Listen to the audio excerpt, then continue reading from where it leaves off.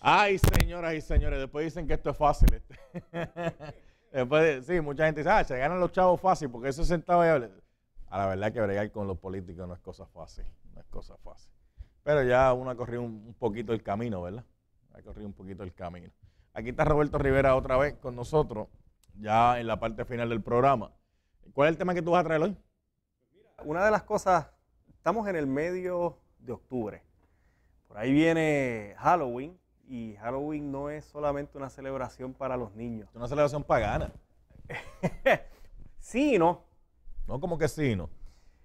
Eh, la, la fiesta y la fecha coincide con un origen pagano, pero eso no significa que habían fiestas de convergencia que coincidieron. Es como Navidad. Navidad no es un origen, no es una fiesta de origen pagano. Y, pero el 25 también se celebra una fiesta pagana del solsticio de invierno. No significa que una es la misma que la otra. Anyway, tú lo dices por el Día de los Muertos, las disfraces. Por eso es una fiesta pagana. Eso.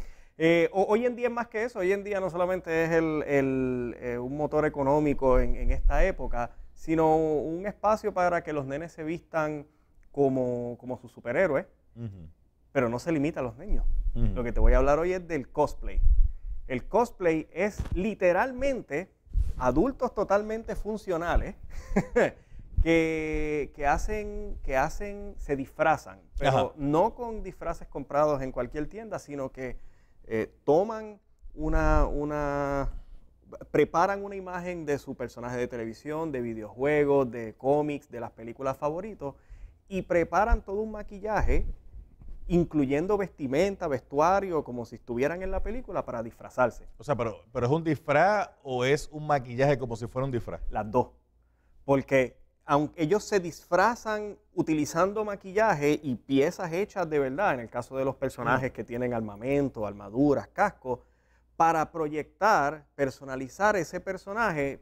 Por ejemplo, en Puerto Rico hay, unos eventos de, de geeks, ¿verdad? Gente que sigue lo- los cómics, los videojuegos y las series de televisión y la gente va vestida de su personaje favorito. Pero a la misma vez hay competencias de esto. Y obviamente cuando llega la época de octubre, que por, por causa de Halloween todos tenemos la excusa de, de- de Una hacerlo, Fiesta, una fiesta de disfraz. una fiesta de disfraces, pues aprovechamos y, y el cosplay como tal, en vez de ser ¿verdad? esta cuestión comercial que se hace en, lo- en los eventos o en la feria, pues tiene un poquito más de, de, de appeal al público. O sea, por, por, ejem- por ejemplo, para el que no está viendo por televisión y que no está escuchando radio, yo voy a tratar de hacer la descripción. Ajá. Tú viniste hoy al programa disfrazado, tú traes ropa, que obviamente esa es la ropa. Y lo que estamos viendo, entonces, es el maquillaje del disfraz que tú tienes. Yo llego aquí como Captain América, no tengo los seis pies ni nada de eso, pero yo llego disfrazado con el escudo y tratando de, de imitar a Captain América. Con lo que diferencia un cosplay de un disfraz regular es, digamos, el nivel de seriedad que se le da, que cuando yo llegue, tú veas a Captain América, por decir un, un- personaje ya hecho.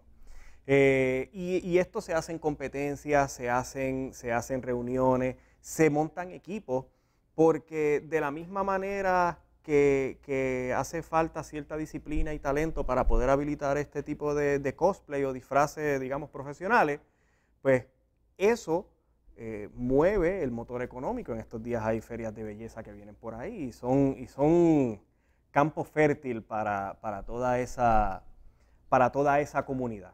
Me Es, es sumamente Me interesante. están diciendo los muchachos que tú dices Captain America para ti, pero como que, no- que, que no cae. sí, muchachos, con mis cinco pies, cuatro pulgadas. Digo, eso, es lo- eso me eso me están diciendo, tú sabes. este, con, con suerte el puño de Hulk. Y cuidado. Y cuidado, mira, estoy de verde.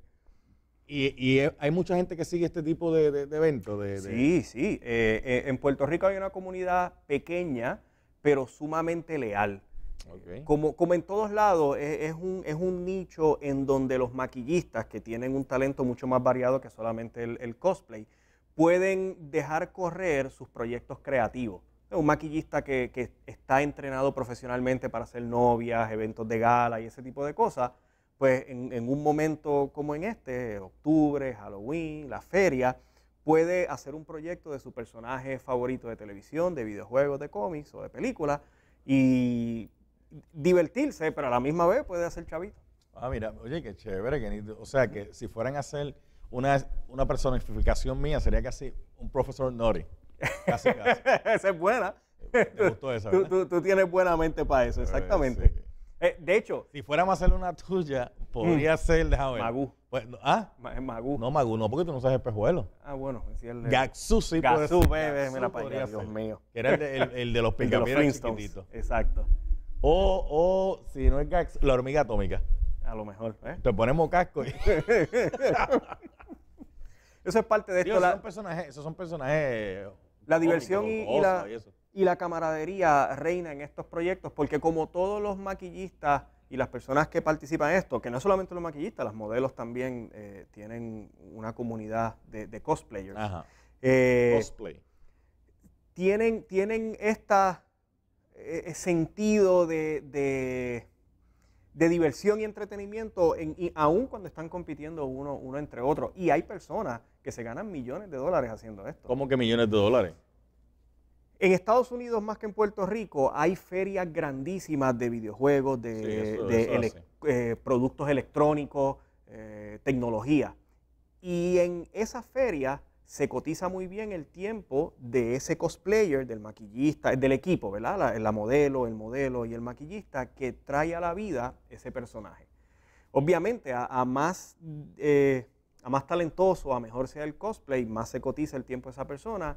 Y como todo en, en- en este mundo hoy en día, en la medida que ese, ese talento famoso, que tiene un following grande en las redes sociales, endosa productos, pues la- los productos y las marcas le, le pagan por utilizar sus maquillajes, sus Sí, que la- la las redes sociales están quedando con el canto. Exactamente. Las redes so- hoy día el que no esté en las redes sociales, eh, le guste o no le guste, eh, está atrás. Porque hacia eso es que se mueve el mundo. El, el problema es, igual que, en, que- que en- en cosplay, no quedarse solamente en un nicho. En, en este ciclo estamos en la adolescencia de las redes. Tú dices, ¿por qué? Porque lo que estamos viendo es, en el caso de los políticos, estamos viendo mucho que se han concentrado solamente en las redes sociales y han perdido la capacidad de llevar su mensaje y su discurso, sus planes en- en largo formato, ¿verdad? De lo que serían los medios tradicionales. No, pero no lo han perdido. ¿Tú crees? No, no lo han perdido. Si el medio tradicional les regala el tiempo, Ah, bueno, no, no, no. obvi- obviamente, obviamente, ellos aprovechan para llevar sus mensajes por ahí y obviamente se van por las redes sociales. Definitivo. ¿Dónde, ¿A qué público tú quieres capturar? Al que no te está prestando atención. Es el que tú tienes que ir a buscar Claro. y atraerlo, porque el que está contigo ya está contigo. Tú Definitivo. tienes que buscar el que no está contigo. ¿Y qué hacen ellos? Van a, Se aprovechan, va- seguro. Van y utilizan para llegarle a otro tipo de público que es el que no lo sigue. Pero si es el, el que lo sigue a ellos, que es el público adulto, mayor, normalmente, ¿qué es lo, qué es lo que hacen esa gente? Claro. No, y a la misma vez, eh, la, la gente, hay, hay- está el camino de menor resistencia. Es como los ríos. Por donde menos piedras haya, por ahí coge. Los canales, los medios tradicionales también tienen que integrar las redes sociales para hacer alternativas completas y poder llevarle a la audiencia a lo que ellos quieren, que al final es contenido. Bueno, gracias Roberto Rivera. Gracias a ustedes, que la pasen bien.